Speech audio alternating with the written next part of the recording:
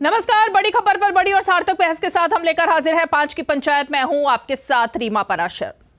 प्रधानमंत्री नरेंद्र मोदी आज अपने संसदीय क्षेत्र वाराणसी में थे।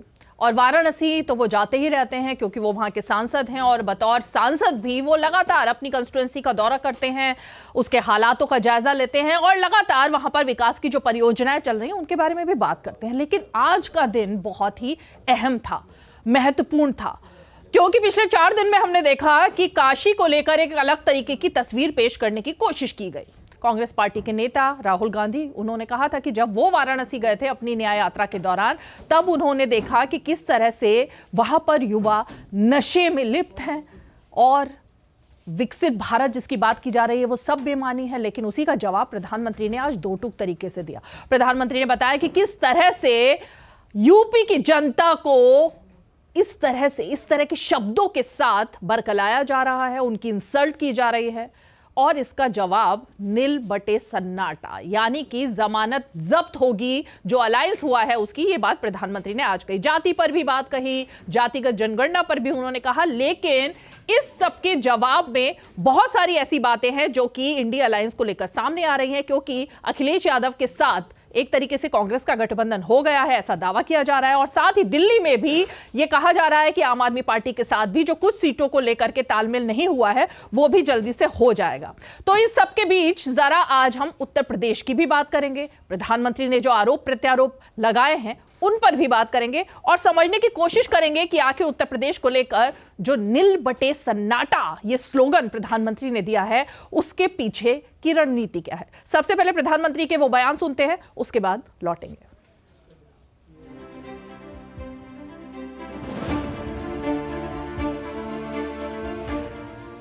कांग्रेस के युवराज परिवार ने क्या कहा?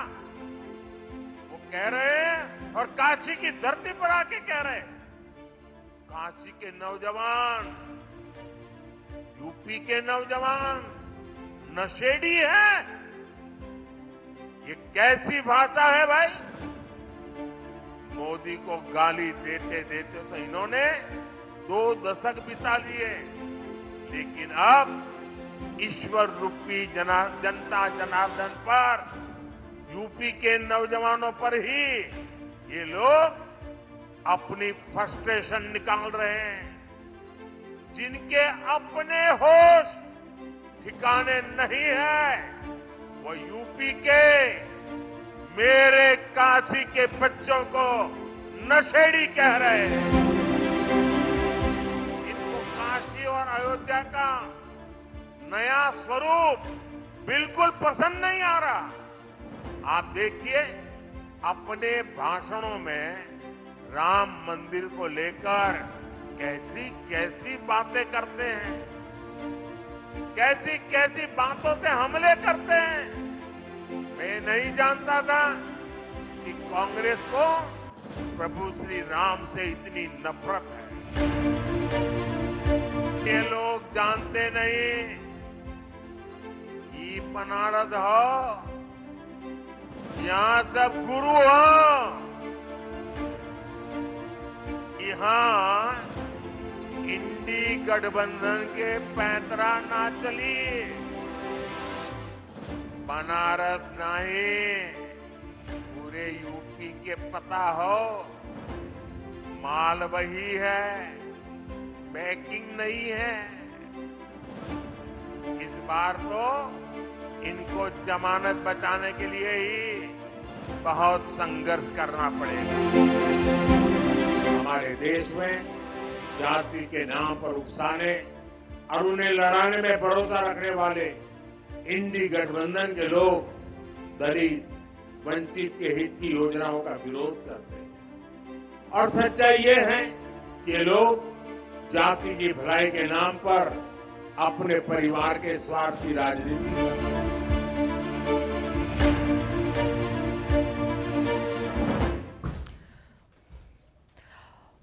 बात हुई प्रधानमंत्री की, जो उन्होंने वाराणसी से बिगुल फूका, लेकिन जरा उस बयान को भी एक बार आपको दिखा देते हैं, जिसको लेकर इतना बवाल मचा हुआ है। राहुल गांधी ने क्या कहा था? एक बार वो बयान सुनते हैं, उसके बाद मैं मेहमानों का परिचय कराती हूँ। मैं वाराणसी गया। वाराणसी में देखा मैंने। रात को बाजा बज रहा है। वहाँ पे शराब पिए। शराब पिए। सड़क पे लेटते हुए बाजा बज रहा है। यूपी का भविष्य रात को शराब पिए, नाच रहा है, डांस कर रहा है।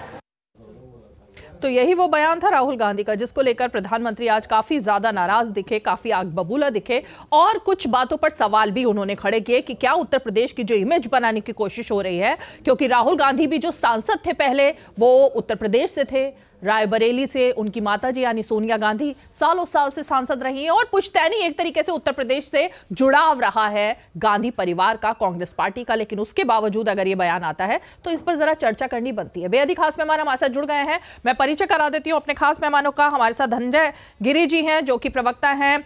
भारतीय जनता पार्टी के हमारे साथ ज्योति कुमार सिंह जी जुड़ रहे हैं, जो कि कांग्रेस पार्टी के प्रवक्ता हैं। हमारे साथ तारिक खान साहब जुड़ेंगे, जो कि समाजवादी पार्टी के प्रवक्ता हैं। इसके अलावा कुछ ही पलों में हमारे साथ विष्णु पाठक जी भी जुड़ेंगे, जो कि आम आदमी पार्टी के नेता, और जरा उनसे हम समझने की कोशिश करेंगे आम आदमी पार्टी के बारे में। लेकिन जरा मैं ज्योति जी, आज आप ही से शुरुआत करना चाहूँगी। ये जो नशेड़ी वाला जो बयान रहा, जिसको लेकर आज प्रधानमंत्री ने पलटवार कहा है, क्या उत्तर प्रदेश और खासकर वाराणसी का हर युवा आज की डेट में नशा करके घूम रहा है, ये बयान देना सही था राहुल गांधी का? उन्होंने किस परिप्रेक्ष्य में कहा, ये आपको समझने की ज़रूरत है। लेकिन सवाल तो ये है कि जब प्रधानमंत्री नरेंद्र मोदी खुद कहते हैं और उनको ये बताना पड़ जाता है कि मुझे तो अब लगता है कि मुझे बनारस बार बार आना पड़ेगा। क्यों प्रधानमंत्री जी? आप वहाँ के आप वहाँ के मेंबर ऑफ़ पार्लियामेंट हैं। आपको ये एहसास अब हुआ कि आपको बार बार आना पड़ेगा? आपको आपको तो हर बार वहाँ रहना चाहिए। आपको तो वहाँ हर बार युवाओं की बात सुनना चाहिए। आपको तो वहाँ हर बार बीएचयू में जो कांड हुआ महिलाओं के, लड़कियों के साथ, उस पर आपको बात करना चाहिए। आपको तो हर बार वहाँ पर ये बात करना चाहिए कि पेपर लीक हो गए। आपको तो हर बार बात करना चाहिए कि पुलिस में जो भर्तियाँ हो रही है, उसके पेपर लीक हो गए। आप कैसी बात कर रहे हैं? आप प्रधानमंत्री हैं, आपको तो हमेशा वहाँ रहना चाहिए, आपको तो सेकंड सेकंड का सुध लेना चाहिए, और आप कहते हैं कि मुझे तो लगता है कि बार बार आना पड़ेगा। ऐसा शर्मनाक बयान प्रधानमंत्री, हमारे देश के प्रधानमंत्री, जो मेंबर ऑफ़ पार्लियामेंट है उस जगह के, उनको इस तरह की बातें करना पड़ रहा है। क्यों भाई? इस तरह की बातें केवल और केवल राहुल गांधी के भारत जोड़ो न्याय यात्रा का ये हताशा है। उनको डर लग गया है कि ये भारत ये राहुल गांधी की जो यात्रा है हमारे पूरे 2024 के दो 2024 का जो चुनाव है इसके मंसूबों पर ये पानी फेर जाएगा। उनके सारे झूठे वादे सारे जुमले झूठे हो जाएँगे और पानी फिर जाएँगे। ये सारा सारा डर केवल राहुल गांधी के न्याय यात्रा का है। ज्योति जी लेकिन प्रधानमंत्री पर तो आपने बात कही कि वाराणसी उनको बार बार जाना चाहिए वहीं रहना चाहिए। क्या बतौर सांसद सिर्फ़ ये नरेंद्र मोदी का ही कर्तव्य है कि वो अपनी कंस्टिट्यूंसी में रहे रायबरेली और जब राहुल गांधी अमेठी में थे या फिर कि, अभी हम राहुल गांधी की बात करें, वायनाड की तो भी इसका तो फिर डेटा निकलवा लेना चाहिए कि कितनी बार सोनिया गांधी गई, कितनी बार राहुल गांधी अपनी कंस्टिट्यूंसी और बाकी के सांसद आपके जाते रहे या किसी के भी, क्योंकि आप तो सीधे तौर पर इस बात पर हमला कर रहे हैं ना। कि उनको वहीं रहना ही चाहिए वाराणसी।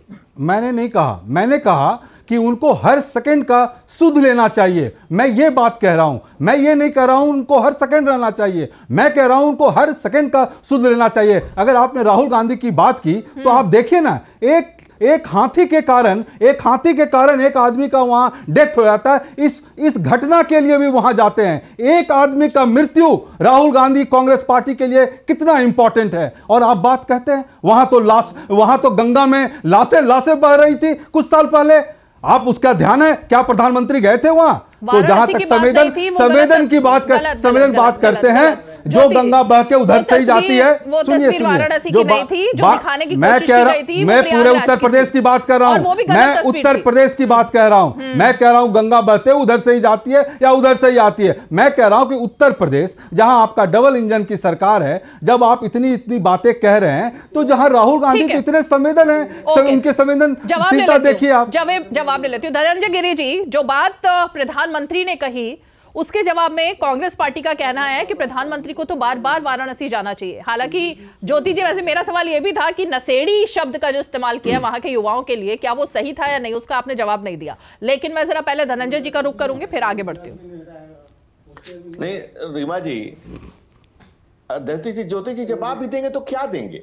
राहुल गांधी राहुल पढ़कर जैसे तैसे करने लगे प्रश्न कुछ ऐसे, प्रधानमंत्री को जाना चाहिए बनारस, लेकिन राहुल गांधी अमेठी क्या अमेठी से चले गए। अमेठी से चले गए। जनता के बीच से चले गए, विदा हो गए। और इसके बाद वायनाड गए। वायनाड से भी विदा हो गए। वायनाड ने भी कर दिया बाय बाय, और अमेठी ने तो पहले से मुलेठी चुनने के लिए मना कर दिया है। राहुल गांधी देश के युवाओं को नशेड़ी समझते हैं नशा करता समझते हैं, और प्रधानमंत्री नरेंद्र मोदी देश के युवाओं को देश की आन बान शान समझते हैं। यही बेसिक फ़र्क है। वो चाहे तुलसीदास हो, रही करीब करीब कबीर दास हो, रहीम हो, रसखान हो, या जो कोई भी रविदास को आज नमन किया प्रधानमंत्री ने, या नरेंद्र दामोदर दास हो, समाज के लिए जीवन का क्षण क्षण पल पल एक एक क्षण समाज जीवन के लिए समर्पित है। वहीं राहुल गांधी नानी के घर जाते जाते यहाँ से विदाई की स्थिति में आ गए। और आजकल लोग घूमना शुरू किए हैं। भारत से भाई सत्ता प्राप्ति की आस में राहुल गांधी यहाँ वहाँ घूम रहे हैं। आप इनसे करे करे चौबीस का चुनाव। अरे आप चुनाव की चुनचुनाहट के लिए घूम रहे हैं, आप खुद ही बता रहे हैं कि चौबीस का चुनाव, चौबीस का चुनाव। हम तो जन सेवा के लिए चौबीस घंटे समर्पित लोग हैं। और 24 घंटे आठों पहर अहरनी सेवा में जीवन का क्षण क्षण समाज जीवन का पल पल हम लोगों ने समाज के लिए समर्पित कर रखा है हम्म। राहुल बाबा का समाज के में अभी नया नया घूमना एक नया आपके लिए कुछ नई बात हो सकती है हम लोगों ने तो जीवन भर इसी परिवार में रहे गाँव हम्म। गरीब किसान नौजवान के परिवार के रहे हम्म। हम उस गरीब परिवार से आते हैं उसकी पीड़ा को समझते हैं इसलिए प्रधानमंत्री नरेंद्र मोदी ने सब दिया है गरीब युवा आप न्याय okay. आप न्याय हाँ। यात्रा करने चले हैं। आपकी पीढ़ियों ने अन्याय किया इस देश के साथ। पीढ़ियों ने अन्याय किया। आप इस देश के युवाओं का अपमान कर रहे हैं यूपी के युवाओं का अपमान कर रहे हैं। आप उन्हें नशेड़ी बता रहे हैं कि डांस कर रहा है युवा। आपने सदी के महानायक का अपमान किया। अमिताभ बच्चन को कहा कि नाच रहे ऐश्वर्या राय को कहा। उनकी उनकी पत्नी और ऐश्वर्या राय बच्चन की सासू वो भी उत्तर प्रदेश से राज्यसभा सांसद है। तो राहुल गांधी जी को पता ही नहीं है कि वो क्या कर रहे हैं। ठीक है। 120 सैटेलाइट हम लोगों ने लॉन्च कर दी। रीमा जी 120 सैटेलाइट लॉन्च हुआ। लेकिन एक 20 बार राहुल बाबा को लॉन्च करने का प्रयास किए राहुल बाबा हर लॉन्चिंग में फेल हो गए। ठीक है। मैं तारिक में फेल हो जाते हैं। ओके मैं तारिक जी और विष्णु पाठक जी पे वैसे अब जुड़ गए उनका रुख करूँ लेकिन ज्योति जी फिर मैं लौटकर एक बार इस मुद्दे पर आती हूँ जिसको आपने डक किया था। नशेड़ी कहना उत्तर प्रदेश के युवाओं का अपमान है या नहीं है? मैं कहा कि जब प्रधानमंत्री गारंटी की बात करते हैं तो उस गारंटी में अगर राहुल गांधी जी ये बात आपको उस परि, किस परिप्रेक्ष्य में कहे हैं हाँ। आपको उस परिप्रेक्ष्य भी समझना होगा। उस बात को समझना होगा कि जब प्रधानमंत्री गारंटी की बात करते हैं कि मोदी की गारंटी मोदी की गारंटी तो किस गारंटी की बात करते हैं? राहुल गांधी अपने न्याय यात्रा में यही तो बात कह रहे हैं ना कि आप युवाओं की नौकरी की गारंटी जो बोले थे आप दीजिए। आप अगर वो नहीं देंगे तो इधर भटकेंगे उधर भटकेंगे। आप मोदी की गारंटी का क्या मतलब है? मोदी का गारंटी का मतलब है किसानों को बुलेट से मारना? हाँ। क्या युवाओं की क्या महिलाओं के साथ अत्याचार करना? ये मोदी की गारंटी है? क्या मोदी की गारंटी मोदी की गारंटी क्या है? आपको आप युवाओं को नशा करके पड़े हुए आप आप सड़कों पर। ये उनका जवाब अगर अगर अगर मैं अगर अगर ये लॉ एंड ऑर्डर की बात है तो हाँ। आपके डबल इंजन की सरकार है तो यो, आपकी योगी योगी सरकार क्या कर रही है? योगी सरकार क्या कर रही है? क्यों नहीं ध्यान देती है? क्यों नहीं क्राइम पर ध्यान देती है? क्यों नहीं बलात्कार पर ध्यान देती है? क्यों नहीं आप अत्याचार पर बात करती है? करें अगर नशे की बात है तो योगी इनकी डबल डबल इंजन की सरकार है। तो योगी देखे ना बारह बजे रात के बाद क्या हो रहा है? तो आप उस पर नशा उस पर नकेल कैसे क्या प्रॉब्लम है इसमें? इसमें प्रॉब्लम क्या है? आपको ये आपको अगर विपक्ष की बात विपक्ष अगर आपको विपक्ष के नेता अगर आपको विपक्ष के नेता ये बोलते हैं अगर कोई बात आपको सुझाव देते हैं तो आप उसको माने। वो सुझाव नहीं था मैं आपको करेक्ट कर दूँ। आपने शायद राहुल जी का अपने ही नेता का पूरा बयान नहीं सुना। उन्होंने कहा या तो आधे लोग आधे युवा रात के 12 बजे सड़कों पर नशा करके पड़े रहते हैं और जो बाकी के युवा बच्चे हैं वो मोबाइल में लगे रहते हैं। उन्होंने कहीं भी ये विकसित भारत अब आप बात अब, अब, अब, आप कहीं नहीं। अब आप पुलिस तो की नौकरी के पेपर तो लिख कर देंगे अगर आप पुलिस के पेपर के नौकरी लिख कर देंगे और जो टीचर बनने के पेपर को लिख कर देंगे तो जो युवा भटक रहे हैं तो आपके डबल इंजन सरकार है ना? तो क्यों नहीं आप क्यों नहीं आप उस पर जाँच बैठाते हैं? आप दिखवाइए ना आप तो दिखवाइए आप आप पेपर लिख बंद करना करवाइए। मोदी की गारंटी पेपर लिख है। मोदी की गारंटी क्या? पुलिस पुलिस भर्ती में ये गारंटी है उनकी? अरे भाई अगर आपको विपक्ष की पार्टियों ने बोला कुछ बात आप उसको अमल करें अमल करके जाँच बैठाएँ पुलिस को दौड़ाएँ जिस तरह आप घर तो को उजाड़ दे रहे हैं उसी तरह पुलिस युवाओं को पकड़े आप- आप। मैं समझ सकती हूँ इसका जवाब। तारिक जी से लेना चाहूँगी। तारिक जी क्योंकि आपकी पार्टी तो भाई उत्तर प्रदेश की पार्टी है ना। और अजय राय जो कि वाराणसी से ही चुनाव लड़ चुके हैं जो कि यूपी में कांग्रेस पार्टी के अध्यक्ष हैं वो भी वाराणसी से ही आते हैं। वाराणसी जिसके बारे में मतलब कुछ भी कहना जो है वो शब्दों को मैं कहूँगी कि बयान नहीं कर सकते उस नगरी के बारे में। वहाँ का हर युवा नशेड़ी है। ये उत्तर प्रदेश का अपमान हुआ है या आपको लगता है कि नहीं क्योंकि अब आप भी समझौते के तहत हैं तो शायद इस बात को आप भी छोड़ देंगे। ठीक है। वो उत्तर प्रदेश का युवा नशेड़ी है। ये बयान गलत है नहीं कहना चाहिए। ठीक? इससे उत्तर प्रदेश की बेइज्जती हो गई। चलिए बस। मान लिया आपकी बात। अब आगे बढ़ते हैं। यहाँ से आगे बढ़ते हैं। देश के लोगों को शर्म आती है कि हम हिंदुस्तान में पैदा हुए थे। 20 मई 2015 सियोल में दिया हुआ प्रधानमंत्री का बयान। इससे छाती चौड़ी हो गई, छप्पन इंच की हो गई आपकी। या मेरी हो गई, किसकी हुई? प्रधानमंत्री, माफ़ी मांगे कि आपने कहा कि पूरा देश का जितना लोग है, वो अपने पिछले जन्म में कुछ उसने पाप किए थे, जो वो हिंदुस्तान में पैदा हो गया। पूरे देश का सर ऊँचा हो गया। वाह गर्व की बात है। पहली बात। दूसरी बात कहता हूँ, उत्तर प्रदेश गुंडों का प्रदेश है। मेरे कान में दर्द होने लगा। भारतीय जनता पार्टी के नेताओं से ये सुनते सुनते सत्रह से पहले यहाँ सिर्फ़ गुंडे रहते थे। फक्र की बात है उत्तर प्रदेश के लोगों के लिए। यही कह कहते तो आप सत्ता में आ गए। क्या उत्तर प्रदेश में सिर्फ़ गुंडे रहते थे या अब गुंडे सारे खत्म हो गए? ये भारतीय जनता पार्टी का नारा था रोज कहा। इससे उत्तर प्रदेश के लोग गौरवान्वित महसूस आ रही हूँ आ रही हूँ हाँ। उनका गौरव बढ़ गया और उनके गौरव ठीक है जवाब ले लेते हैं। तो आपकी बात का जवाब जवाब लेती हूँ आपकी बात का आपने दो आरोप लगाए। धनंजय जी पहले उसका जवाब देंगे फिर विष्णु जी। धनंजय जी। रीमा जी ये हम नहीं कर रहे। उत्तर प्रदेश की पहली दलित मुख्यमंत्री बहन मायावती ने कहा था कि चढ़ गुंडन की छाती पर लगाओ मोहर हाथी पर। वो गुंडन शब्द उन्होंने और उन्होंने एक एफ़ दर्ज कराया था। उन्होंने इस पे स्पेसिफिकली लिखा था। बाई वर्ड बाई मैं शब्द बाय शब्द बता रहा हूँ। कि सपा के गुंडों ने मेरे साथ गलत करने का और मेरी जान लेने का प्रयास किया था। सपा के गुंडों ने ये एफआईआर की कॉपी है। उस पर बहन मायावती ने लिखा था। और इसके अलावा आदम गोडवी ने कहा है कि पक्के समाजवादी है तस्कर हो या डकैत कितना असर है खादी के उजले लिबास में। और उत्तर प्रदेश के माफियाओं का आप देख लीजिए। मुख्तार अंसारी हो अब आप नाम का शुरू करिए? सब के सब का एक ही बिल से सारे सपोले निकलते हैं। इब्राहिम लोधी का भारत नहीं है ये नरेंद्र मोदी का भारत है। और ऐसे सारे लोगों के लिए जगह नहीं मिलेगी छुपने की। और दूसरी बात आज भारत वर्ष का जो मान सम्मान दुनिया में बढ़ा है आज कई कंट्री जाने के लिए आपको वीज़ा नहीं लगाना पड़ता है। वहाँ ऑन अराइवल वीज़ा है। कई हमारे साथ रुपीस में 27 देश आज ट्रेड कर रहे हैं। ये भारत का सम्मान मान अभिमान गर्व जो जिस तरह से प्रधानमंत्री नरेंद्र मोदी ने बढ़ाया है आने वाली नस्ल तुम पे है। करेगी हम असरो। तारिक जी, जवाब- ओके, ओके, धनंजय जी, ठीक है। जवाब, जवाब। सेकंड। तारिक बहन कुमारी मायावती के ऊपर आपत्तिजनक शब्द कहने वाले बलात्कार जैसी बात कहने वाले आज की डेट में मंत्री हैं आपके सरकार। तारिक जी ये बात मायावती बहन मायावती ने अब से कुछ ही दिन पहले वो गेस्ट हाउस कांड की याद दिलाई थी। उन्होंने ट्विटर पर भी दिलाई थी और बयान देकर भी दिलाई थी। वही वही याद दिला रहे हैं शायद। हम भी तो याद दिला रहे हैं ना। हम भी तो याद दिला रहे हैं। हम्म। को है परिवार मंत्री को उत्तर प्रदेश के। मायावती के बारे में क्या कहा था? मैं एज इट इज़ कहूँगा तो आपके चैनल की बेइज्जती होगी मेरी जबान भी खराब मैं ऐसे शब्दों का इस्तेमाल नहीं करना चाहता हूँ। मंत्री बना दिया। उससे क्या हुआ? उससे दलितों का सम्मान बढ़ा। जैसे प्रधानमंत्री ने कहा कि भारत में पैदा हुए तो हम लोग बदकिस्मत थे बदनसीब थे। इससे भारत के लोगों का गौरव बढ़ा। उत्तर प्रदेश में गुंडे रहते इससे भारत उत्तर प्रदेश के लोगों का गौरव बढ़ा। मान लेते भाई इस मानक को। अगर आपका यही पैमाना है चीज़ों को तय करने का ऑल दोस्त मैं प्यार से एक्सेप्ट कर लूँगा। ओके ठीक है, इस बात से आगे थोड़ा सा बढ़ते हैं। मैं विष्णु पाठक जी का रुख करूँ, लेकिन मैं ज्योति जी एक बार आपके पास फिर से आऊँगी, क्योंकि आपका और समाजवादी पार्टी का गठबंधन हो गया। प्रधानमंत्री ने सीधे तौर पर आज इस बात को रखा। उन्होंने कहा, जो लोग उत्तर प्रदेश का अपमान कर रहे हैं ना, और जो यहाँ के युवाओं का अपमान कर रहे हैं, उनकी जमानत भी नहीं बचेगी। नील बटे सन्नाटा।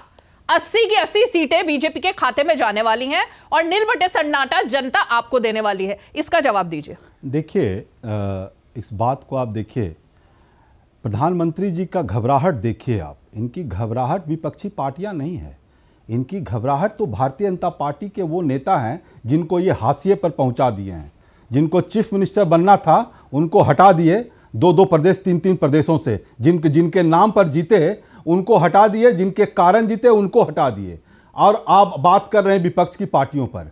आज ये जो बात कह रहे हैं कि इनको ज़ीरो आएगा, ज़ीरो तो इनको आएगा। ज़ीरो कैसे इनको आएगा? आप मुझे बताइए, ये कैसे कैसे किस तरह के प्रधानमंत्री हैं और नेता हैं भारतीय जनता पार्टी के, कि कितना कितना स्वार्थी हैं कि बोलते हैं कि 400 सीट आएगा, उसमें 370 केवल बीजेपी आएगी। अब बाकी केवल जो इनका अलायंस स्वार्थी है उनको केवल 30 आएगी। देखिए कितना कितना कितना स्वार्थी आदमी है ये। बोलते हैं कि स्वार्थी? 400 में 370 केवल बीजेपी को। अब बाकी केवल पार्टी 30 उस को आएगी अलायंस वाले को। देख लिया कितना स्वार्थी। अब आ जाइए अब आ जाइए ना आ जाइए अब ना, आ तो जाइए। आ जाइए ना अब आ जाइए हाँ। बात पर आ जाते हैं बात पर हाँ। आ जाते हैं।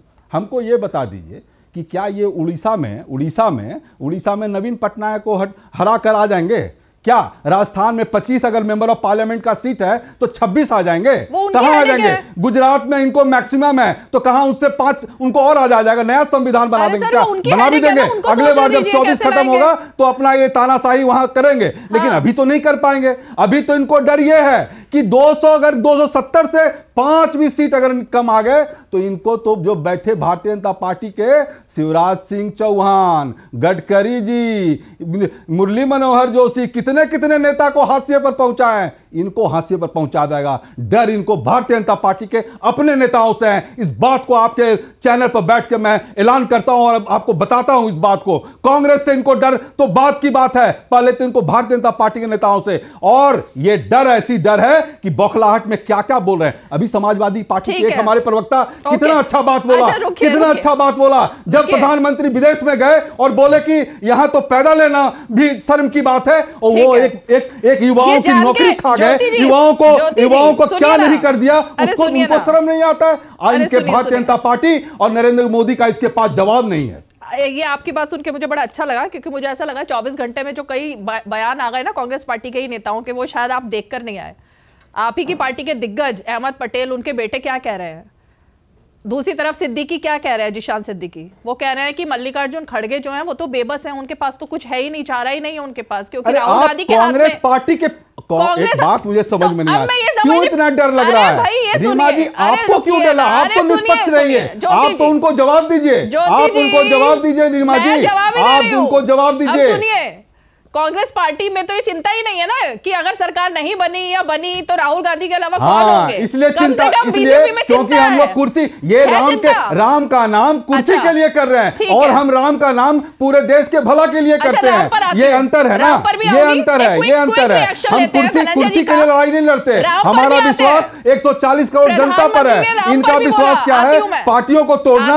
अब मुझे अच्छा रीमा जी एक बात बता अच्छा, दीजिए। तो आज ये सारी पार्टियों हमारे पार्टी के नेताओं को ले जा रहे हैं आप आगे आके यही बात करेंगी। अगर इतने मज़बूत लोग हैं अब आप इतने मज़बूत लोग हैं तो तो हमारे नेताओं को ले जाके अपने क्यों भर रहे हैं? ये बताइए ना अपने नेताओं को दरी बिछवाएँगे क्या कैसे पानी पिलवाएँगे हम लोग स्टूडियो आएँगे तो पानी पिलवाएँगे क्या करेंगे? बताइए ना तो मतलब आप बताइए ना बताइए। क्या कि मेरे पास आप बताइए ना कांग्रेस के नेताओं को तोड़ अच्छा, रहे हैं तो उसको तोड़ रहे हैं। अरे जब आप में दम है तो अपना पार्टी कार्यकर्ताओं को मज़बूत करो ना। क्यों नहीं मज़बूत करते क्विक रिएक्शन धनंजय जी से क्विक रिएक्शन मेरे मन में क्या है? वो मुझे जानने दीजिए ना आप कैसे जानेंगे ज्योति जी रुकिए जरा। धनंजय जी जल्दी से फिर मैं विष्णु जी के पास जाती हूँ। हाँ। रीमा जी कांग्रेस का भी एक विशेष दल होता था। अब वो शेष हो गया। आने वाले समय में उसके अवशेष भी खोजने से नहीं मिलेंगे। कांग्रेस आज सहयोगियों के रहमो करम पे है। हाँ। आज सत्रह सीट दे दिया। एक सीट कोई दे रहा है कोई दो सीट दे रहा है। ममता बनर्जी करे दो सीट ले रहा है तो तो जाओ अपने रास्ते निकल लो। ये कांग्रेस की बात हालत है। ऐसे में अगर ज्योति जी कह रहे हैं कि कहाँ से आएगा तीन सत्तर तो गलत क्या कर रहे हैं? आदमी अपनी हैसियत से अपने अपने अपने औकात से के हिसाब से बात करता है। वो बेचारे बंगाल में चौवालीस में ममता लड़की दो से तीसरा नहीं देने को तैयार नहीं है। केजरीवाल जैसा था दल जाए? जैसे झाड़ू मार तो मारती आप घटेंगे ना। बीजेपी की पूरी कैलकुलेशन कर ली लेकिन अपनी अपनी पार्टी की कैलकुलेशन नहीं की ज्योति जी ने लगता है। बीजेपी को सरकार कितनी बना रहे सीटें हैं। कहाँ आई हमारी तो सरकार है? रीमा जी हमारी तो सरकार बना रहे हैं। आपको हम कि तो बीजेपी सरकार की बना कहाँ रहे पे और कमज़ोरी है, कहाँ बढ़ोतरी है। की प्रखर प्रखर एंकर रही है पहले आप फिर से उसी तरह हो जाएँगी। आपको हम गारंटी दे रहे हैं। हमारी सरकार आने दीजिए मेरी चिंता मत आज करिए, आपकी मजबूरी होती है। बहुत बातों को आप हैं। आप देखिएगा कांग्रेस की सरकार ये। सेटअप भी कांग्रेस का है ये दूरदर्शन भी कांग्रेस का सेटअप है। इस बात को याद रखिए इसको नहीं बोलना चाहिए इसको नहीं बोलना चाहिए कि मोदी ने बनाया है इस दूरदर्शन को आपने दूरदर्शन को कांग्रेस नहीं बनाया है। इस बात को याद रखना आपने बहुत मनोरंजन किया राहुल गांधी मनोरंजन कर ही रहे थे इसका आपने भी बहुत मनोरंजन किया। धनंजय जी एक मिनट धनंजय जी एक मिनट क्योंकि दूरदर्शन पर उन्होंने बात कही है तो मैं थोड़ा सा बता दूँ। दूरदर्शन किसने बनवाया क्या बनवाया वो ठीक है जिसकी सरकार थी ना जो आज़ादी के बाद आया ज़ाहिर तौर पर उसी वही बनवा सकता है कि कब ऑल इंडिया रेडियो बनेगा कौन दूरदर्शन लेकिन दूरदर्शन में कांग्रेस के रिजिम में क्या क्या होता था सर वो मत मुझसे याद दिलवाइए। वो याद याद करूँगी तो बहुत सारी ऐसी बातें याद आ जाएँगी दूरदर्शन पर जो कि मतलब बताना शायद ठीक नहीं है नेशनल चैनल पर बैठ करके। उस वो मैं आपको अलग से बताऊँगी। किस चैनल में किस नेता को दिखाना है, किसको बॉयकॉट करना है, किसकी फुटेज डिलीट करनी है, ये सब कहा जाता था पहले। अब तो कम से कम ये सब नहीं हो रहा ना, ज्योति जी? इसलिए कम से कम वो दिन याद मत दिलाइए। चलिए धनंजय जी जवाब देंगे। धनंजय जी जवाब देंगे। आप हाँ। एविडेंस एविडेंस बने। मैं ये नहीं चाहता हूँ कि आप ज्योति जी हो गया। अब सुनिए हो। सुनिए जवाब सुनिए जवाब ज्योति जी हाँ। ज्योति जी हो गया। ज्योति रीमा जी किशोर कुमार के गाने सुनाए जाएँ कि नहीं सुनाए जाए? मजहरू सुल्तानपुरी ने नेहरू को क्या हिटलर का चेला कहा था? एक साल जेल रहे थे। जहाँ बोलने की भी आज़ादी नहीं थी गाने और फ़िल्म किसके चलेंगे बॉबी फ़िल्म चलेगी कि नहीं चलेगी इतनी माइनूट कांग्रेस के, के उस कांग्रेस की कबर आज ऐसा ही नहीं खुदी है उसके कुकर्मों ने कांग्रेस की कबर खोदी है। और ज्योति जी को आज उतना भी मैसर नहीं जितने की सीटें ये छोड़ दिया करते थे सहयोगियों के लिए। आज वहाँ पंजाब में और दिल्ली में देख लीजिए। आपके ताप से और संताप से दो दो प्रदेश हाथ से गायब है। पार्टियों आज झाड़ू चला दिया आपने। और उसके सामने जहाँ कटोरा लेके खड़े हैं 38 कि पार्टी दे दो गठबंधन केजरीवाल का बता दीजिए, ठीक है। अरविंद केजरीवाल की बात आ गई है तो मैं विष्णु जी का रुख कर लेती हूँ। विष्णु जी का रुख कर लेते हूँ। विष्णु जी एक मिनट एक मिनट ज्योति जी हाँ, एक मिनट। बहुत दुखद बात है ज्योति जी। आप दूसरे के बीच में क्यों बोलते हैं? अच्छा, नहीं बोलेंगे। कोई किसी के बीच में नहीं कोई किसी के बीच में नहीं। अच्छा ठीक है ठीक है। रीमा जी बोल रही है, कोई किसी के बीच में नहीं बोलेगा सब अपनी अपनी बारी में बोलेंगे। विष्णु जी का रुख करती हूँ मैं विष्णु जी। दिल्ली में लग रहा है कि हो जाएगा गठबंधन। हालाँकि भरूच में तो अहमद पटेल के बेटे उन्होंने काफ़ी कुछ कह दिया है और वो कह रहे हैं ये सीट तो मैं नहीं छोड़ूँगा। ये आम आदमी पार्टी के खाते में कैसे जाएगी? तो अभी से ये जो सीन है वो तो सामने आ रहा है। लेकिन मैं तो जरा ये जानना चाहती हूँ आज जो प्रेस कॉन्फ्रेंस हुई जिसमें आया कि अरविंद केजरीवाल अगर गिरफ़्तार हुए जो कि होंगे तीन दिन के अंदर ऐसी सूचना भी मिल गई है आम आदमी पार्टी को तो देश में सुनामी आ जाएगी। कैसी सुनामी आने वाली है देश में? देखिए देश का जो एक ईमानदार वर्ग है और जो जानता है कि हमारी सत्ता हमारी आम आदमी पार्टी के सपोर्टर या आम आदमी पार्टी का कार्यकर्ता इस फिराक में नहीं रहते फला आदमी हमको दे रहा है ये हमारा हक है। हाँ। और जब से कल से बिल्कुल दबाव बढ़ गया है कि आप तो या तो कांग्रेस का अलायंस छोड़ो या हम आपको जेल में डाल देंगे। ये किसने कहा आपसे? जेल में डाल देंगे। नहीं ये बात कहाँ से आई है कि या तो छोड़ो अलायंस या जेल में डालेगा? तो सुन लीजिए ना। कोई सोर्स है इसका? बिल्कुल सोर्स है। क्या? सोर्स है। आप आप सुन लीजिए ना। हाँ। जेल में डाल देंगे। ये अभी एक सप्ताह पहले तक थे। आपके डिबेट में या और टीवी की डिबेट में इनका तो गठबंधन नहीं हो रहा इनका गठबंधन नहीं हो रहा। आज जब गठबंधन लगभग फाइनल है और हमारा और कांग्रेस पार्टी का जो बात है जहाँ पे जो करना चाहिए चंडीगढ़ हो राजस्थान हो हरियाणा हो और गुजरात हो। हम्म। हो गया सब जगह? हो गया बिल्कुल हो गया बिल्कुल हो। तो भरूच भरूच को लेकर क्या डिसाइड हुआ? सुनिए ना हाँ। सुनिए, सुन लीजिए जैसे ही ये बात कंक्लूड के पोजीशन में है कि अब बात फाइनल हो गई। हमारा सीट भी लगभग तय हो गया। वैसे ही सीबीआई पहले तो ईडी का सात बार नोटिस भेजा गया। जो ईडी का नोटिस को इलीगल हो गया उसके बाद इन्होंने सीबीआई का प्रेशर बढ़ाया है। सीबीआई से हम तुमको गिरफ़्तार लेकिन नहीं ये बात तो लेकिन एक महीने से विष्णु जी आ रही है ना? आप, तो- ये बात तो एक महीने से कही जा रही है कि केजरीवाल गिरफ़्तार होंगे केजरीवाल गिरफ़्तार होंगे केजरीवाल गिरफ़्तार होंगे। भारतीय हाँ जनता पार्टी की सरकार पता नहीं कौन उनके सलाहकार हैं जो समझ रहे हैं कि केजरीवाल डर जाएगा या केजरीवाल एक बात बताइए कि केजरीवाल के चार मंत्री तीन मंत्री जेल में रहे क्या उन्होंने समझौता किया? क्या उन्होंने पार्टी तोड़ा? फिर आपको विष्णु जी विष्णु जी आई थिंक आपका माइक गिर गया है। विष्णु जी आई थिंक आपका माइक हट गया है। माइक देखिए जरा शायद आपका माइक गिर गया है। मैं जरा आऊँगी आपके पास दोबारा से। लेकिन अब जरा ज्योति जी राम पर आते हैं। आपने राम भगवान राम को याद किया तो प्रधानमंत्री को भी भगवान राम की बात आज उन्होंने भी कही। उन्होंने तो कहा मुझे नहीं पता था। भगवान के मुझे नहीं तो- पता था कि हाँ। कांग्रेस पार्टी को भगवान राम से इतनी नफरत है क्योंकि अयोध्या का विकास और काशी का विकास कांग्रेस पार्टी से पच नहीं रहा है। अब जरा इसका जवाब दीजिए। राम को लेकर एक तो वहाँ ना जाना पहले तो राम मंदिर के उद्घाटन पर। और उसके बाद इस तरीके की बात करना। विष्णु जी, एक मिनट रुकिए। ज्योति जी ज्योति जी। अरे सर, रुकिए ना। आप पर आरोप ही नहीं लगाया उन्होंने।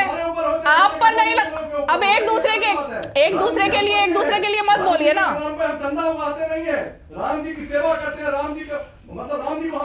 ज्योति जी कैपेबल है इस पर जवाब देने के लिए। अरे ठीक है विष्णु जी। आपने बहुत अरविंद केजरीवाल ने तो हनुमान चालीसा का पाठ भी करवाया आते हैं ना रुकिए पार्टी डेवलपमेंट पे सवाल करेंगे ये राम जी का मूर्ति लाके आगे रखते थे देखो जी राम का ये विरोधी है। हम डेवलपमेंट की बात करते हैं। ये पानी में बुलबुले नहीं पका क्या डेवलपमेंट है? क्या डेवलपमेंट है? एक के साथ एक फ्री एक के साथ एक फ्री आधा के साथ पहुआ फ्री यही केजरीवाल का डेवलपमेंट मॉडल है पाठक जी। आधा के साथ पहुआ फ्री यही डेवलपमेंट मॉडल है आपका। अजब रिवाज है आपका शिक्षा की आड़ में धंधा शराब का शिक्षा मंत्री शराब के केस में जेल जाए इससे शर्मसार करने वाली शर्मनाक बात कोई हो सकती है क्या? इससे शर्मनाक कोई बात हो सकती है? मंत्री शिक्षा का और शराब घोटाले में जेल में है। शर्म करके डूब मरने वाली बात है। चुल्लू पर पानी में नहीं चुल्लू पर विष्णु जी नाम विष्णु शिक्षा मंत्री ओके इस तरह बीच बीच में मत बोलिए प्लीज़ प्लीज़ एक मिनट रुकिए दोनों ही लोग। विष्णु जी नॉन स्टॉप नहीं विष्णु जी नॉन स्टॉप नहीं नॉन स्टॉप मत बोलिए ना सवाल भी तो सुनिए। मेरा सवाल ज्योति जी से है। अब मेरा सवाल ज्योति जी से जरा ज्योति जी को जवाब देने दीजिए। आपने कांग्रेस पार्टी और आपके बीच इतना अच्छा गठबंधन हो गया कि उनके टर्म में आप ही बोल रहे हैं। तो जरा उनकी टर्न पर उन्हीं को बोलने दीजिए। ज्योति जी जवाब देंगे। राम से दुश्मनी क्या है? आज अ, आप पार्टी और कांग्रेस के गठबंधन से आपको खुश हुई बड़ा बड़ा अच्छा लगा हमको रीमा जी अब देखिए ये बात जो आप कह रहे हैं दुश्मनी तो भारतीय जनता पार्टी जो जो झूठे अपने दिखावा करती है भक्त होने का ये उन, उनका है। आप कांग्रेस से पूछती हैं हम तो इस स्टूडियो में हर कोई अच्छा काम करने आते हैं तो राम भगवान को प्रणाम करके आते हैं। अभी भी आपके स्टूडियो में राम भगवान प्रणाम करके आए आए क्या भारतीय जनता पार्टी के प्रवक्ता? तो नहीं ना आए ना? से तो हम तो हम तो हाँ। वो लोग हैं हम लोग हम तो वो लोग हैं जो राम राज की बात करते हैं और राम संस्कृति की बात करते हैं। ये क्या करते हैं कि राम का नाम लेते हैं वोट के लिए वोट के समय की बात करते हैं। देखिए आप हमसे पूछती हैं। अब आपके आपको तो पता है आपको तो पता है कि पंद्रह जब जब बाईस तारीख को इक्कीस जब भी था ये हमारा उसके पहले हमारे उत्तर प्रदेश से कितने नेता गए और हमारे कांग्रेस से कितना नेता जा रहे हैं मिल रहे हैं लेकिन हम इनको क्या बता के जाएँगे? ये मुंशी है वहाँ के। ये क्या है वहाँ के? मुंशी है ठेकेदार हैं। ये उनका ये उनका जब राहुल गांधी उनका राहुल गांधी का जब मन तो करेगा राहुल गांधी को सुनिए ना रीमा जी रीमा जी। रीमा जी सुनिए इस सुनिए। सुनिए सुनिए। है, आप तो सुनिए ना। सुनिए ना। हैं? 22 तारीख तो राहुल गांधी तो राहुल गांधी तो भगवान शिव को प्रणाम किए चंदन लगाए और मोदी जी तो फ़ोटो खिंचवा के चारों तरफ़ बांटते हैं और राहुल गांधी गए तो उनके फ़ोटो को छुपा के रख तो लेते हैं। ऐसे तो आपके प्रधानमंत्री हमारे हैं। तो ऐसे की तो थी प्रधानमंत्री है। वो अपना फ़ोटो पूजा करते हुए लोग को दिखाते हैं विपक्ष के पार्टियों को नहीं देखने देते हैं। हाँ। ऐसे प्रधानमंत्री हैं। और अब हमको तो ये बताइए ना कि आप राष्ट्रपति को क्यों नहीं आने दिए? अमित शाह क्यों नहीं गए? और नेता क्यों नहीं गए? आप बताइए ना, हमारा तो जब मन करेगा जाएँगे, हमको जब राम भगवान बुलाएँगे तो हम जाएँगे, क्योंकि हमारी आस्था की बात है। लेकिन इनका तो वोट वाला बात था। अब तो इनका वोट कट जाएगा नीमा जी। अब बताइए अब आप यूँ अमित शाह तो गए नहीं वहाँ पर कितने मंत्री नहीं गए? बताइए अब तो उनका वोट कट जाएगा। हमारी आस्था की बात है हमको राम भगवान बुलाएँगे हम चले जाएँगे। राहुल गांधी क्यों। जनता से कहते घूम रहे हैं कि तुम लोगों को तो राम नाम जपने में लगा रखा है और काम नहीं हो रहा ये क्यों कहा जा रहा है? हर घर में जब राम बोले हाँ, क्यों क्यों भगवान कहा जा रहा के बारे में है इस तरह बात क्यों की जा रही है? इसलिए इसलिए कहा जा रहा है तारिक जी के पास आऊँगी इसके बाद, इसलिए हाँ। कहा रहा है कि मोदी जी की जो गारंटी नौकरी की थी हाँ। मोदी जी की जो गारंटी महिलाओं की सुरक्षा की थी। मोदी जी की। मोदी जी की गारंटी जो किसानों की डबल आए double income double double income करने की थी वो कुछ नहीं हो रही। है और आपको राम नाम पर फंसाया जा रहा है। ज्योति वो झूठा राम ज्योति फंसाया जा रहा है। वो बात कर रहे हैं। आप पूजा रुकिए, रुकिए, रुकिए। राहुल गांधी और कांग्रेस पार्टी कहती है सुनिए राहुल सुनिए सुनिए गांधी ज्योति जी आप इतने वरिष्ठ प्रवक्ता और वरिष्ठ नेता है पार्टी के। आपने अगर अयोध्या के बारे में आप गए नहीं वहाँ तो कम से कम पता कर लेते कि डेवलपमेंट के नाम पर कितने लोगों को नौकरी वहाँ मिली। और अयोध्या का जो कायाकल्प हुआ उसमें कितने युवाओं को रोज़गार मिला है। ये सब डेटा पर इतने चैनल्स ने दिखा दिया इतने अखबारों में छप गया इतनी रिसर्च हो गई कम से कम पढ़ लेते उसको अरे तो पता लग जाता।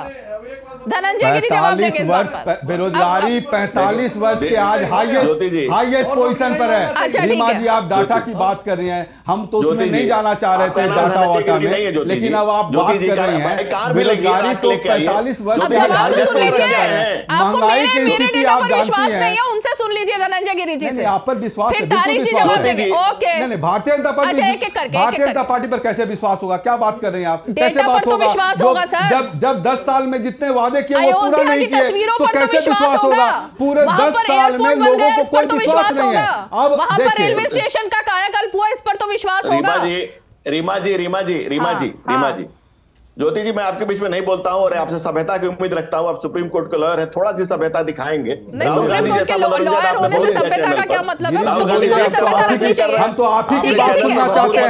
हम तो चाह रहे थे अच्छा, कि मोदी जी जी आपको राज्यसभा भेजे वो तो कांग्रेस के नेता को लेकर राज्यसभा बना रहे हैं मोदी जी ज्योति हम जी बीच में चिंता आपकी है भाई ज्योति जी आपकी चिंता है। मैं ज्योति तो जी आपकी बीच में चिंता कर रहा हूँ। ज्योति जी बीच में नहीं। प्लीज़ आप वरिष्ठ हैं और दर्शक जब देखते हैं ना फीडबैक देते हैं कि कौन कितने पेशेंस के साथ बात करता है तो अच्छा लगेगा कि सबके सबके लिए और दर्शक एक ही बात बोले। धनंजय गिरी अपने टर्म में सब बोलेंगे। रीमा जी मैं ज्योति जी को जानता हूँ ये वरिष्ठ भी हैं और शिष्ट भी हैं लेकिन राहुल गांधी का असर कभी कभी इन पर पड़ जाता। है बात रही बात राम ये जो पब्लिक है ये सब जानती है और राम विरोधियों के रोम रोम को पहचानती है। उन कांग्रेस को भी जानती है जिसने एफिडेविट करके राम को काल्पनिक बताया था। उस कांग्रेस को इस देश की जनता भली भांति जानती है और पहचानती है। और उसको भी पहचानती है जिसको जिसको नानी ने सपने में बताया था कि मेरा राम उस जगह पे मंदिर बनने से खुश नहीं हो रहा है और बाद में बसों में भर भर के कि वहाँ जा रहे हैं। तो इन लोगों के चाल चरित्र चेहरे से प्रदेश और देश की जनता अच्छे से जानती है। दूसरी बात कर रहे थे अरे हमने तो मैनिफेस्टो में लिखा था कि हम राम मंदिर बनवाएँगे धारा 370 हटाएँगे और इस काम के लिए हमको देश की जनता ने वोट दिया था। हमने लोगों को तो लिख करके ये बात कही है। कोई जबानी कोई कथा तो कर नहीं रहे हम लोगों ने लिखा था और इस देश की जनता ने हमें इस काम के लिए वोट दिया है। तारिक जी देश की जनता के सामने सर झुकाकर उसका धन्यवाद ठीक है ठीक है ठीक है। तारिक जी बुलावा तो अभी तक अखिलेश यादव को भी नहीं आया। उन्होंने तो कहा था कि हम इसलिए अभी नहीं जा रहे जैसे ही भगवान राम मुझे बुलाएँगे मुझे न्योता देंगे तो मैं जाऊँगा। तो कब तक इंतज़ार होगा? वो इसीलिए फिर सवालों के दायरे में खड़े होते हैं सब लोग। तारिक जी। नहीं जाएँगे वो। कब? और जल्दी ही जाएँगे और उनका कार्यक्रम जल्दी ही लगेगा और परिवार के साथ जाएँगे ऐसा उन्होंने कहा है। और भगवान राम सबके और जब बुलावा आएगा तो बिल्कुल जाएँगे इसमें कोई दो राय जी। बुलावा आएगा मतलब कैसे आएगा? वही तो मैं जानना चाहती हूँ बुलावा। अब मैम ये जो कहते हैं ना कि बुलावा जब आएगा तब वो चले जाते हैं तो मुझे लगता है कि किसी तरीके का एक इंडिकेशन होता होगा भगवान का। और ये बड़ी स्पिरिचुअल चीज़ है। हर आदमी का भगवान के साथ अपना एक मन का कनेक्शन होता है। मुझे लगता है वो मन का कनेक्शन जब बुलाएगा तो वो जाएँगे। लेकिन आज आध्या- आप- अच्छा तारिक जी। आपको नहीं लगता कि उत्तर प्रदेश में राम मंदिर और खासकर राम मंदिर का जब उद्घाटन हुआ उसमें जो जो लोग नहीं गए जो जो पार्टियाँ नहीं गई जिन्होंने बॉयकॉट किया जनता के मन में कहीं ना कहीं ये मुद्दा रहेगा क्योंकि ये सबसे बड़ा मुद्दा बन रहा है इस बार चुनाव में मैम अगर किसी की शादी में किसी ने बुलाया एक तरीके का इन्विटेशन है और हम नहीं जा रहे हैं इसका मतलब हम उसका विरोध कर रहे हैं सुप्रीम कोर्ट के ऑर्डर का किसी ने विरोध किया, किसी मुसलमान ने विरोध किया, या अखिलेश जी ने, ये तो सबके लिए, सबने सर्वसम्मति से उसको माना। और वहाँ पर मंदिर बन रहा है, जब जिसके हिसाब से, क्योंकि वो बीजेपी ने अपने हिसाब से इवेंट को ऑर्गेनाइज किया था, इसलिए नेताओं को नहीं लगा। मगर क्या भगवान राम में सबकी आस्था नहीं है? जो खुद ही मंदिर दो दो जगह बनवा रहे हैं, इटावा में बनवा रहे मथुरा में बनवा रहे हैं, उनकी भगवान में आस्था नहीं है। जो बॉर्न हिंदू है, वो बिल्कुल जाएँगे वहाँ पर, आप भी जाइए, सभी लोग जाएँ। किसी के ऊपर कोई भी रोक नहीं है। तो लेकिन जनता को यही जवाब देंगे क्या? जनता को यही जवाब देंगे जब वो पूछेगी चुनाव में जिस दिन मैम देखिए जिस दिन इस बात पे विराम फुल स्टॉप लग जाएगा अखिलेश जी का बहुत ही जल्दी अयोध्या का प्रोग्राम लगने वाला है। परिवार के साथ जाएँगे मैं कह रहा हूँ यहाँ पर क्योंकि मैं तो प्रवक्ता हूँ। हम लोगों को पता रहता है परिवार के साथ जाएँगे और बहुत जल्द जाएँगे। तो मुझे लगता है वो आध्यात्मिक कनेक्शन हाँ। अपने गॉड अपने खुदा अपने भगवान से एक आदमी का होता है मेरा भी आपका भी होगा। वो बुला लेंगे तो मन की आत्मा सुन लेगी चले और बहुत जल्दी। ठीक है तो धनंजय गिरी जी एक तरीके से समाजवादी पार्टी का रिएक्शन तो खत्म हुआ इस मुद्दे पर कि वो जल्द ही जाएँगे। तो इसका मतलब कांग्रेस पार्टी ही अब वो पार्टी बची है जिसके बारे में प्रधानमंत्री ने बात कही कि कांग्रेस को क्यों भगवान रामलला से नफरत है वो नहीं बता पाई कांग्रेस। तो असली अटैक जो है वो कांग्रेस पर है। नहीं रीमा जी देखिए कहते हैं ना कि दुविधा में दोनों गए माया मिली न राम। उत्तर प्रदेश में कांग्रेस की और सपा की यही स्थिति है। आप देखिए अखिलेश यादव की स्थिति बहुत अजीब स्थिति हो गई है। पहले उन्होंने भगवान राम के सामने परशुराम को खड़ा करने की कोशिश की। उन्होंने कहा कि हर ज़िले में परशुराम भगवान का मंदिर बनवाएँगे। और बिल्कुल भगवान के नाम पर झूठ बोलते हैं। कहते हैं कि भगवान मेरे सपने में आए थे, कहे, तुम्हारी सरकार बनेगी। या तो भगवान उनके साथ चुगलबाजी कर रहे थे, या भगवान के नाम पर झूठ बोल रहे थे। तो अब अखिलेश जी की स्थिति देख लीजिए। और कांग्रेस की स्थिति यह है कि जिस कांग्रेस ने भगवान राम को काल्पनिक बताया, उसे समझ में नहीं आ रहा है कि करे क्या। क्योंकि कांग्रेस तो राजनीति की रेस से ही बाहर हो गई कांग्रेस की स्थिति ऐसी हो गई है कि आप कांग्रेस अपने आप को आज ये मान रही है कि वो राजनीतिक रेस में है ही नहीं। सत्रह सीट तो एक एक रीजनल पार्टी सत्रह सीट दे कर रही है कि आना है तो आओ तो जाना तो जाओ। बहन, वहाँ ममता बनर्जी कह दे रही है कि तुम दो सीट से ज़्यादा के लायक नहीं हो। केजरीवाल, जिसने कांग्रेस की कबर पे ही अपने गुलाब उगाए हैं और झाड़ू चला करके दो दो प्रदेश से कांग्रेस को मिटाया है। कांग्रेस उसके सामने कटोरा लेके खड़ी है कि जो, जो देना है केजरीवाल दे दो। केजरीवाल ने कांग्रेस के लिए क्या क्या नहीं कहा? क्या केजरीवाल ने कांग्रेस के लिए कोई कोई उपनाम कोई संज्ञा सर्वनाम छोड़ा है कांग्रेस के लिए? उन्होंने सोनिया गांधी तो जेल जाने की वकालत की है। ठीक है इससे आगे बढ़ते हैं। ठीक है अब इससे आगे बढ़ते हैं। ओके धनंजय जी अब इससे आगे बढ़ते हैं। ज्योति जी। चौथी और अंतिम बात जिस पर आज बात करनी बहुत ज़रूरी है क्योंकि राहुल गांधी जहाँ जहाँ जा रहे हैं वो हर किसी से पूछ रहे हैं कि तुम्हारी जाति क्या है तुम्हारी जाति क्या है तुम्हारी जाति क्या है। पत्रकार को पिटवा देते हैं उसके मालिक की जाति पूछकर।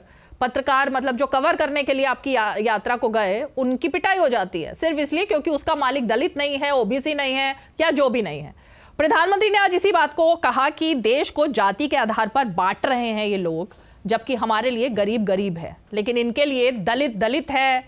गरीब की जाति पूछते हैं और जाति पूछ पूछ कर देश में देश को तोड़ने की कगार पर लेकर जा रहे हैं। तो क्यों देश को तोड़ने की कगार पर लेकर जाया जा रहा है? ज्योति जी। रीमा जी देखिए सबसे पहले तो मैं आप उस पत्रकार की बात जो आपने शुरू की मैं उससे करता हूँ। ये तो ये हालत है भारतीय जनता पार्टी के मंत्री और जो मेंबर ऑफ़ पार्लियामेंट है अमेठी की। एक पत्रकार ने उनसे सवाल क्या कर दिया? उसकी नौकरी ही निकलवा दी उन्होंने। और ये बोल के कि तुम्हारा बॉस कौन है तुम्हारा मालिक कौन है हम अभी तुम्हारी खबर लेंगे। तो आप इनकी क्या बात करते हैं? चलिए दूसरी बात पर आइए। जाति तो नहीं पूछी थी? जब आ, जब जब जब अब जाति के आधार पर हुआ अब आप दूसरी बात पर आ जाइए ना। हम्म, हम्म। इस देश में इस देश में जब नरेंद्र मोदी जी अपनी जात बता के वोट मांगते हैं और अपनी जात एक बार नहीं कितने बार बोलकर वोट मांगते हैं और एक बार तो 2015 में भागवत जी को ये इस तरह के बयान, जातिगत बयान देकर उनको नुकसान भी सहना पड़ा था, ये भी याद होगा आपको। लेकिन सवाल क्या है? सवाल ये है कि अगर इस देश में राहुल गांधी कहते हैं कि यहाँ जनसंख्या का गिनती होना चाहिए तो क्या गलत कहते हैं? अगर वो कहते हैं कि अगर किसी कोई खास समुदाय के लोग गरीब हैं उनको भी बराबर आम लोगों की तरह होना चाहिए उनको भी नरेंद्र मोदी के जो बाकी दोस्त लोग हैं क्रोनिक कैपिटल उनके बराबर होना चाहिए उनके बराबर उनको लोन मिलना चाहिए तो क्या गलत है भाई? अगर वो भूखे हैं उनके उनकी गिनती हो जाए उनको भी बराबर लोन तो मिले उनको भी समाज में आर्थिक उनको भी उनको भी आर्थिक सामाजिक अगर आर्थिक तो सामाजिक राजनीतिक अगर उनको फ़ायदा मिल जाए तो क्या दिक्कत है इसमें? क्या क्यों नहीं कराना चाहते? तो आप कहना चाहती हैं कि नरेंद्र मोदी नरेंद्र मोदी नहीं चाहते हैं मैं आपसे जानना चाहती हूँ कि इसी आधार पर तो लड़वाने की कोशिश क्यों हो रही है आपस में लोगों को? जाति पूछ पूछ कर रैली में पूछ पूछ कर न्याय यात्रा में पूछ पूछ कर ये जाति के बारे में राहुल गांधी से भी तो कोई जाति पूछ सकता है ना फिर कि आपकी क्या जाति है तो और आपने क्या किया फिर उनके लिए? राहुल गांधी और उनके परिवार के बारे में तो मोदी जी ने इतनी बातें कह दी है कि जि, जिसका लोगों के मन में इतनी घृणा हो गई है उनके प्रति कि 2024 में समझ में आ जाएगा। जो चार सौ का जो गुलगुला तारिक खान फिर आ रही हूँ धनंजय दोनों के बाद आपके पास नहीं। आपको मुझे इतना बात बता दीजिए कि हाँ। क्या नरेंद्र मोदी जनसंख्या की जो हमारे देश की जो सवाल था उस पर आती हूँ मैं। तारिक जी तारिक जी कुछ ऐड कर रहे हैं दस सेकंड के लिए। Okay okay Tariq ji. ठीक है तारिक जी। दस सेकंड दीजिए। हम्म। प्रधानमंत्री कहते हैं यहाँ सिर्फ़ चार जातियाँ गरीब किसान मजदूर ऐसा कुछ बोला गरीब किसान महिला और युवा आपको वो भी याद नहीं आ रहा। मैं समझ गया। हाँ, हाँ, हाँ, महिलाओं को इस तरह कम बता है ना। थैंक यू वेरी मच हाँ। चार जातियाँ हैं। फिर फिर ये क्या क्या ज़रूरत पड़ गई कहने की कि हमने 28 ओबीसी मंत्री बना दिए? फिर ये ज़रूरत क्यों पड़ गई कि हमने एसटी समाज का प्रेसिडेंट बना दिया? क्योंकि सवाल पूछा गया था। एक सेकेंड एक सेकेंड। हाँ। ये क्यों कह दिया कि मध्य प्रदेश में यादव बना दिया? अरे डॉक्टर बना दिया ये कहते हैं मध्य प्रदेश में यादव को बना दिया अब उत्तर प्रदेश का यादव वोट दे देगा। ये कहने की ज़रूरत? इस बात का ढिंडोरा भारतीय जनता पार्टी को पीटने की क्या ज़रूरत है? आप जाति की बात कर सकते हैं। ठीक है। आप फिर कह सकते हैं कि वो गरीब है और उसकी जाति भी ठीक है। हम नहीं कर सकते ओके जवाब सुन लिया। जवाब सुन लीजिए। आप दोनों की ही बात का जवाब धनंजय गिरी। रीमा जी राष्ट्रकवि दिनकर ने कहा है कि सिर पे कुल का छत्र लिए भीतर का लेके काले। और जरा नहीं शर्माते जगत में जाति पूछने वाले। ये राहुल गांधी के ऊपर बिल्कुल सटीक बैठता है सिर पे कुल का छत्र है इसलिए राहुल गांधी को लोग सुन रहा है देश में। नहीं तो राहुल गांधी जिस तरह से मनोरंजन करते फिर रहे हैं इस देश का तो नॉन सीरियस तरह एक आइटम बन चुके हैं देश में। दूसरी बात राहुल गांधी सबसे कहते हैं कि जातिगत जनगणना कराएँगे। कोई पूछे तो अपनी जाति क्या बताएँगे? बस कुल गोत्र बता बदल के चुके हैं जात ना बदल गोत्र। दादा लेटे। सिमेट्री में जनेऊ पहन के घूम रहा है पौत्र। दादा ही कबर में लेट गए हैं बगल में इलाहाबाद में। और आप जनेऊ पहन के घूम रहे तीसरी बात तो कह रहे थे जाति की बता रहे थे। जातीय उन्माद फैलाना और जातीय उत्थान करना दोनों दो बातें हैं। प्रधानमंत्री जी चूँकि एक गरीब परिवार से आते हैं और एक पिछड़े समाज का प्रतिनिधित्व करते हैं तो देश का पिछड़ा पिछड़ा नहीं रहेगा। कांग्रेस और वैसे लोग जो पिछड़ों को पाव पहुँच समझते थे उनके लिए होश में आने का समय है कि अब जातीय उन्माद की बात नहीं होगी जातीय उत्थान की बात होगी। दुनिया में जितने भी विचारक हुए चाहे वो विचार दुनिया में जितने भी विचारक हुए उनके विचारों का मूल मंत्र प्रधानमंत्री नरेंद्र मोदी ने सारगर्भित शब्दों में दिया सबका साथ सबका विकास सबका। संप्रदाय में तारिक जी, सवाल मेरा आप ही से है, तारिक जी। राजनीति नहीं हाँ, ठीक है, धनंजय जी। समाज को समग्रता में देखने का प्रयास करते हैं? ओके तारिक जी मेरा तो सवाल आप ही से है। कम से कम समाजवादी पार्टी की जो अभी लिस्ट आई है तीन उसके बाद समाजवादी पार्टी को तो ये पीडीए और तमाम नारा देने की अब शायद ज़रूरत नहीं है क्योंकि पूरी तरह से परिवारवाद दिखाई दे रहा है। पूरे परिवार के लोगों को टिकटें दी गई हैं। उसके अलावा जो नंबर दो पर आया उसमें अफजाल अंसारी का नाम आता है। तो कम से कम ये तमाम जो चीज़ें हैं वो तो सोचने वाली बात थी ना। कि पीडीए की बात कर रहे हैं लेकिन टिकटों में कुछ और दिख रहा है। सारा जो टिकट है वो पीडीए के हिसाब से ही। बैकवर्ड उसमें ज़्यादा से ज़्यादा है। जो आरक्षित सीट है वहाँ से तो दलित लड़ेगा ही सुरक्षित सीटों में। हम्म। वो तो सुरक्षित नहीं है तो उसमें दी तो अपने आप ही आ गया। दलित को तो उतनी सीट हमको देनी ही देनी है। और मैम हमने अगर कहा कि हम पीडीए की लड़ाई लड़ने की बात कर रहे हैं हम ये नहीं कह रहे कि हम पीडीए को टिकट देंगे। टिकट तो हम किसी को देंगे मगर लड़ाई अखिलेश जी के नेतृत्व में पीडीए की लड़ेंगे। पिछला दलित अल्पसंख्यक अभी प्रधानमंत्री को बैकवर्ड बता दिया। प्रधानमंत्री ने जब कहा चार जातियाँ हैं, अरे भाई अपने प्रधानमंत्री हमारे प्रधानमंत्री की बात तो मानो। क्यों बैकवर्ड कह रहे हैं प्रधानमंत्री को? प्रधानमंत्री कह रहे हैं कि जातियाँ चार टाइप की हैं गरीब मजदूर तो उनमें से प्रधानमंत्री को गरीब बता दीजिए यही तो कह रहा हूँ मैं। क्यों कहा कि यादव वो तो डॉक्टर भी है ना मध्य प्रदेश के तो? ठीक है। कह देते कि एक डॉक्टर को बनाया क्यों कहते हैं भाई? ठीक है। आप आप जातियों के चाहते हैं और जाति जनगणना से बचना भी चाहते हैं। इसलिए ऐसा करते हैं। ज्योति जी आपको नहीं लगता कि जिस तरीके के बयान राहुल गांधी देते हैं कहीं ना कहीं पार्टी उससे बैकफुट पर आती है चाहे ये नसेड़ी वाला अब काशी में तो जब भी कांग्रेस पार्टी जाएगी या कांग्रेस पार्टी जब बात करेगी तो हर युवा यही सवाल पूछेगा ना कि क्या हम नसेड़ी हैं? या फिर कि जिस तरह युवकों को पूछ पूछ कर सिर्फ़ एक तरीके से कहा जा रहा है, बताइए आप ओबीसी हैं या नहीं है, बताइए आप दलित हैं या नहीं, आप कौन सी जाति से आते हैं, आपकी जाति क्या है? तो ये जिस तरीके के सवाल और जिस तरीके की अदाकारी चल रही है, आपको लगता नहीं है? कांग्रेस पार्टी इसी से अभी तक बैकफुट पर आई है। देशवासियों की सबसे बड़ी समस्या बीजेपी और मोदी है। इस बात को आप समझ लीजिए। आप भले ही राहुल गांधी जी के बारे में जो कहें चार बार के मेंबर ऑफ़ पार्लियामेंट हैं। नहीं, मैं तो सवाल पूछ रही हूँ। वो वो वो इस देश में गरीबों की युवाओं की महिलाओं की जो जो कोई सवाल को अगर सुन रहे हैं अपनी बात नहीं कह रहे हैं उनकी हाँ। बात सुन रहे हैं तो वही एक नेता है। आप जो बार बार अभी ये बोल रहे थे क्या नाम है गिरी जी बता रहे थे कि अ, दुविधा में किसको क्या मिला? दुविधा में कांग्रेस को राम और हनुमान मिला वैष्णव देवी मिले काली जी भी मिले लेकिन आपको तो खाली माया मिली है केवल माया जिसका आपको सुप्रीम कोर्ट ने बता दिया। कि आप इलेक्ट्रल बॉन्ड के तहत कैसे कैसे आप काम कर रहे हैं और विपक्ष की पार्टियों को क्या कांग्रेस के कांग्रेस के कांग्रेस के खाता को आप सील कर दे रहे हैं और बिना बताए पैसा निकाल ले रहे हैं? ये तो आपको सुप्रीम कोर्ट ने भी बता दिया। इस बात को आप समझ लीजिए। आपने जो बात कहा और जहाँ तक बात कह रहे हैं मैं पूछता हूँ क्या देश ये नहीं बोलेगा कि जो प्रधानमंत्री विदेश में जाके बोले विदेश में जाके बोले कि यहाँ जन्म लेना इस देश में भी तो शर्म की बात है तो उससे उससे उस उसको सोचने से पहले प्रधानमंत्री के बारे में सोचेगा रीमा जी। आप इस बात को समझिए इस बात को समझिए। इस इस बार 2024 के इलेक्शन में बीजेपी का सफाया हो जाएगा और बीजेपी के नेता ही करेंगे। इस बात को बीजेपी के नेता ही करेंगे। इस बात को समझ लेना। मोदी जी को मोदी जी को तो सौ से नीचे आएँगे। बीजेपी को और आपको? हमको दो सौ बहत्तर तिहत्तर से ऊपर आएँगे। मतलब पूरे गठबंधन को? पूरे गठबंधन को साढ़े तीन सौ आएँगे। साढ़े तीन सौ? अभी गठबंधन में है कौन कौन वो तो बता दीजिए। अभी सिर्फ़ दो ही पार्टियाँ दिख रही हैं। पूछ रही है हाँ। कौन है? उनके अड़तीस पार्टियों के नाम ले लीजिए। पूछ लीजिए अड़तीस के कौन कौन है? बता हम्म। दीजिए। हमारे तो गठबंधन हर जगह हो रहे हैं। अभी आप पार्टी के बोल रहे थे आपको खुशी भी हुई कि कांग्रेस और आप में गठबंधन हो गया। कितनी खुशी हुई आपको? हमारी खुशी सपा के साथ हुई। इसका खुशी तो आपको आपके चेहरे पर दिखा। हमारा आरजेडी के साथ हुआ। तो आपको भी लग रहा है ना कि जो मैं बोल रहा हूँ सही बोल रहा हूँ। आपको लग रहा है ना कि राजस्थान में पच्चीस पार्लियामेंट सीट है वो छब्बीस नहीं ला सकते। या अच्छा तो। पच्चीस लाएँगे या तो बीस लाएँगे या ज़ीरो लाएँगे। इस बात से तो आप मानती है ना। कैलकुलेशन हो गई है मतलब सारी हाँ? बिल्कुल बिल्कुल। भरूच की सीट तो बता दीजिए कहाँ जा रही है?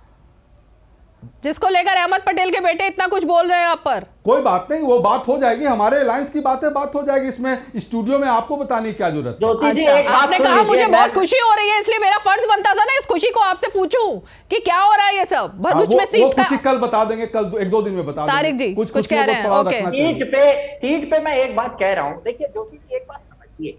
इन्होंने कहा ये 373 जीतेंगे। हम मैं खुश हूँ इस बात से। क्यों पता है? क्योंकि इन्होंने ये नहीं कहा कि ये 543 में 600 सीट जीते। बात आप समझे? नहीं तो बीजेपी तो हमेशा कहती है कि एक विपक्ष होना चाहिए। देश में विपक्ष की बहुत ज़रूरत है ये बात तो हमेशा बीजेपी कहती है। इसीलिए तो विपक्ष की तो पार्टियों के हैं। अकाउंट अच्छा, को सीज करवा रही है। इसीलिए तो विपक्ष के पार्टियों के अकाउंट को सीज करवा रही है। विपक्ष की ज़रूरत बताइए है। विपक्ष विहीन रखना चाहती है। और विपक्ष के नेताओं को अपने पार्टी को मज़बूत तो करने के लिए विपक्ष के ज्योति जी। पार्टियों को ईडी सीबीआई का डर जनता दिखाकर अपने पार्टी में तो ला रही दिमाग है। है जनता खुद चूज़ कर लेती है पार्टियों को आजकल। जनता को बरगलाया नहीं जा सकता ज्योति जी। तो जनता जिसको चुन रही है वो आ रहा है सत्ता में नहीं चुन रही उसको ठुकरा रहा है। झारखंड में प्रयास दिख गया ना मोदी जी का? ठीक है, तारिक जी। झारखंड में प्रयास दिख गया ना? है। कैसे कैसे उनसे भागना पड़ गया? का वक्त है सिर्फ़ एक ट्राइबल हाँ, नेता को बर्दाश्त नहीं कर सकते? एक ट्राइबल चीफ मिनिस्टर है झारखंड में इस पूरे देश में उसको बर्दाश्त नहीं कर सकते। एक ट्राइबल ने राष्ट्रपति बताया को कि राष्ट्रपति जब बनानी थी आदिवासी था तो आप उसको कौन कौन बर्दाश्त से नहीं दल कर उनके सकते? साथ थे? इस बात का जवाब नहीं मिला अभी तक। आदिवासी जब राष्ट्रपति बन रही थी महिला तो क्यों उनको अपोज किया गया? ये भी तो सवाल पूछा गया फिर। चलिए तारिक जी। मैं मैं मैं ये कह रहा हूँ कि आप एक तरफ़ कहते हैं विपक्ष मज़बूत होना चाहिए तो नील बटे सन्नाटा क्यों? ज़ीरो सीट के साथ जीत कर विपक्ष लोकसभा में जाएगा क्या? कैसे जाएगा?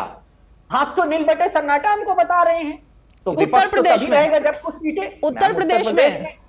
उत्तर प्रदेश में और ये बात जब कहीं और जाएँगे तो नहीं नील बटे सन्नाटा कहेंगे।